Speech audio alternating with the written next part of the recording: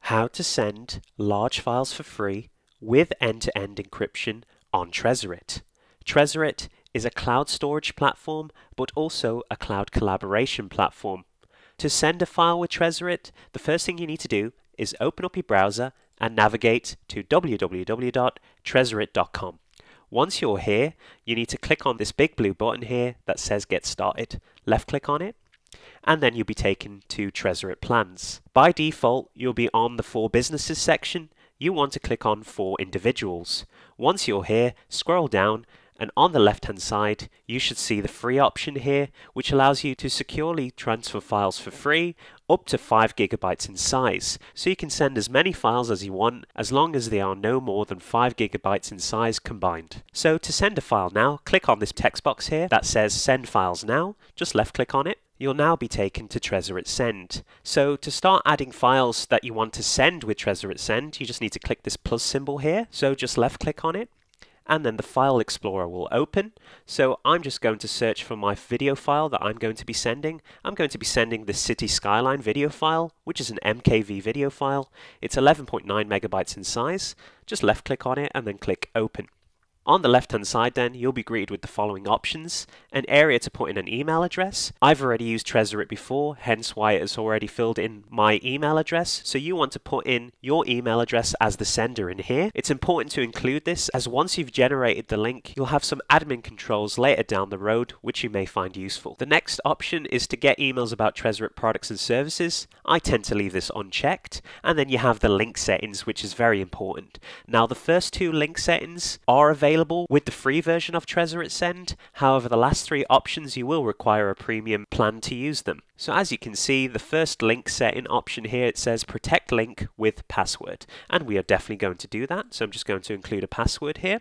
You will need to give the recipient this password, so make sure you write it down somewhere or take note of it. And the second option in link settings is email me when someone opens my link. I always check mark this as well, as I like to know who's snooping on this link and if the recipient is sharing the link with anybody else. And then of course the last three options, unfortunately you cannot check mark them. However, I'll read them out just for completion's sake. It says limit link openings, turn on access logs, and require email verification. Alright, so once you've configured your link settings, you'll be able to see the files that you have added. So as you can see, I've added one file called cityskyline.mkv, and you'll see the file size.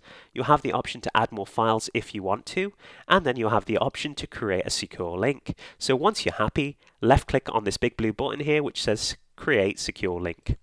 Tresorit will then begin uploading your file or files and encrypting them. Once that's done, it will generate your share link. Alright guys, the share link has been generated and it says your files can be accessed with this link and the right password for 7 days or 10 times. So the recipient can open the link up to 10 times and has a maximum of 7 days to open the link. So if I scroll down here you have a couple of options where you can send the link through Gmail, Outlook and Office 365 or you can just copy the link and share it with the recipient through an encrypted end to end channel, such as a messaging app on your smartphone or on your desktop device. Also, remember to include the password when you're sharing the link with the recipient, otherwise, they can't access the file. The next thing I want to show you is on the next tab here and this is the Chrome Web Store, and this is the Tresorit Send extension, which you can get for any Chromium browser. Brave is a Chromium browser, as it is based off the Chromium code, and therefore you can add any Google Chrome extension to Brave. So all you need to do is navigate to the following URL I'll include this in the video description below, and this will take you to Tresorit Send. And all you need to do to add Tresorit Send as an extension to your browser is to click Add to Brave or Add to your browser's name, and then click Add Extension. The extension will then begin downloading and installing onto your browser. And there we go guys, the Tresorit Send extension has been added to our browser and all we need to do now is just left click on it to open it. And as you can see, it looks exactly the same as the web browser that we sent our video file on previously. So again, all you need to do is just click this plus symbol here, search for your file, left click on it, open it, and then you'll have the exact same options you had on the web application. I'm not going to send another file again, I just wanted to demonstrate the browser extension quickly for you. Alright guys, the next thing I'm going to show you is the admin controls. So because you included your real email address and you checked mark to email me when someone opens my link, you'll receive emails from Tresorit. So I'm just going to go into my email address real quick. I'm just going to open up this tab and as you can see it says your link has been created and then it will give you just a brief summary of the link that you created such as the size, the date it was created, the expiry date and the number of files. You'll also have a button that takes you to the admin link. And I'm just going to left click on this and then click open just to show you what that looks like. So as you can see in the admin link, you can see the number of times your link was opened and you can also see when the link expires and you also have the option to revoke the link's access to everybody right now.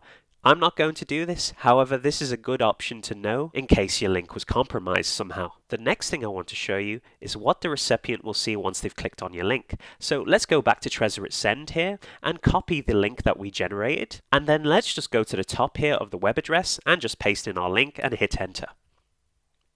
And now as you can see, if you are the recipient of that link, on the left hand side here, you'll be able to see who it was sent by, what are the settings on the open count limit, which is limited, the availability, and if there is a password. As you can see, there is a password, and it says this content is protected by password. You'll need to enter the password that was given to you from the sender. So I'm just going to enter that now, and then hit submit. And as you can see guys, the recipient will automatically see the file or files that you have sent them once they've clicked on the link and entered in the password. Remember, as the recipient, you have 7 days to access the file and 10 clicks on the actual link before it expires. Alright guys, that pretty much concludes the video. I hope you enjoyed this tutorial. If you did, be sure to give this video a like, comment down below, and most importantly of all, subscribe to support the channel. I'll see you on the next video let you go?